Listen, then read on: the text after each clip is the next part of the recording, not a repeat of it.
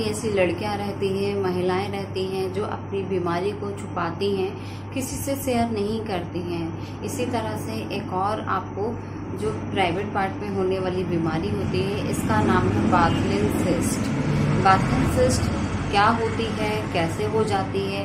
अगर किसी महिला को या फिर लड़की को हो जाए तो वो छुपाती हैं, जिसके कारण से उनको और ज़्यादा इन्फेक्शन हो जाता है और उनकी जो बीमारी है, बढ़ती जाती है।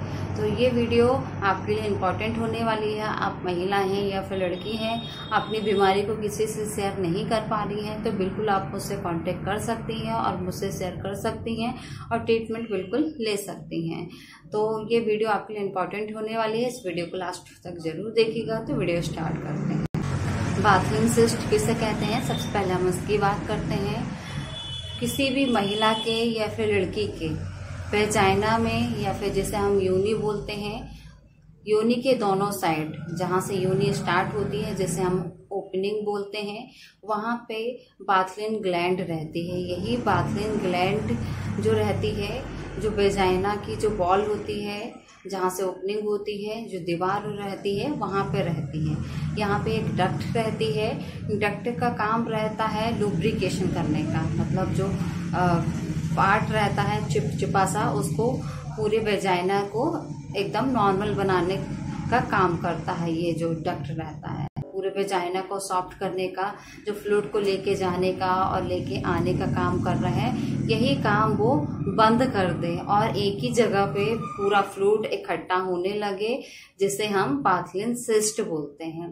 बाथलिन सिस्ट बहुत ही कॉमन है। बहुत सारी महिलाओं को या फिर लड़कियों को देखी जाती है बाथलिन सिस्ट।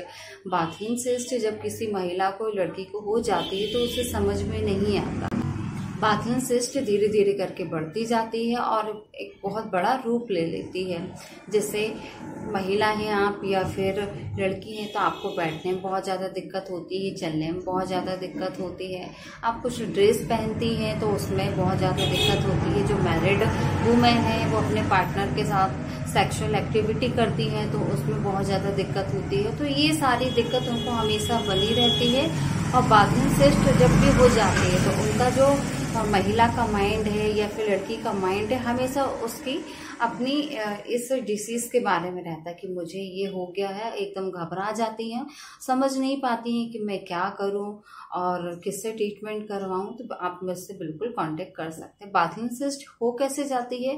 तो ये इन्फेक्शन के कारण हो जाती है या फिर किसी इंजरी के कारण हो जाती है और आपको समझ में नहीं आता बाथरूम सिस्ट हो जाती है तो आपको कौन सी होम्योपैथिक मेडिसिन लेनी है जिससे आपकी बाथरूम सिस्ट पूरी तरह से ठीक हो जाए।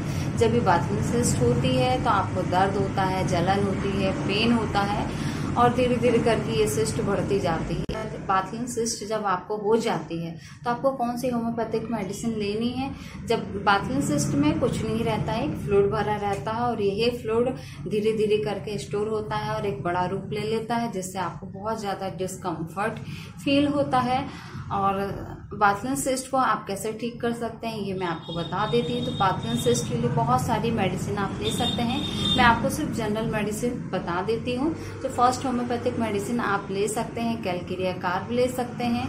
और जो नेक्स्ट मेडिसिन आप ले सकते हैं एपिस मेलिफिका ले सकते हैं। लास्ट होम्योपैथिक मेडिसिन आप ले सकते हैं मर्क सॉल थर्टी पोटेंसी में तीनों मेडिसिन आपको थर्टी पोटेंसी में लेना है। मॉर्निंग में दो ड्रॉप नाइट में दो ड्रॉप और कंटिन्यू रखना है। जैसे आपको बाथरूम सिस्ट हो गई है तो वो पूरी तरह से ठीक हो जाएगी। मैंने आपको सिर्फ़ जनरल मेडिसिन ही बताई हूँ और बहुत सारी मेडिसिन से बाथरूम सिस्ट को ठीक किया जा सकता है। आपको मेरी जानकारी अच्छी लगी है तो मेरी वीडियो को लाइक ज़रूर करेगा वीडियो देखने के लिए थैंक्स